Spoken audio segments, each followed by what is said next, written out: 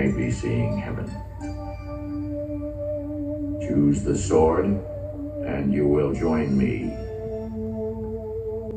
Choose the ball, and you join your mother in death. You don't understand my words, but you must choose. The whole Shogun assassin theory makes sense. Choose the ball or the sword, the sword or the ball. The lightsaber or the Mandalorian armor, or the Mandalorian armor or the lightsaber. But in this case, in classic shock style, it's going to be both. Then let me tell you why.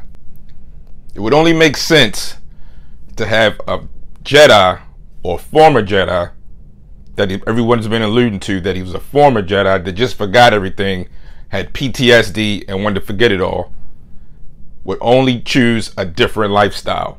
And he's a has a, a, a connection to Mando.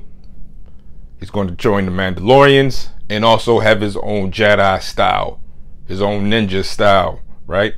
And it only makes sense for him to choose both.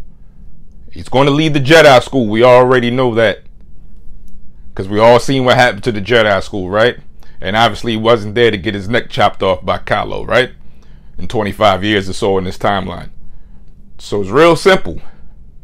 Quick fast. Write this down. This is a prediction. He's going to choose both. And you're going to come back here and thank me. Why would he take only one? He's going to choose both. He has already has his little Mando baller chain. You know what I'm saying? He wants to ball out. He wants to ride in the and then the bullfighter. He's going to choose both. It only makes sense.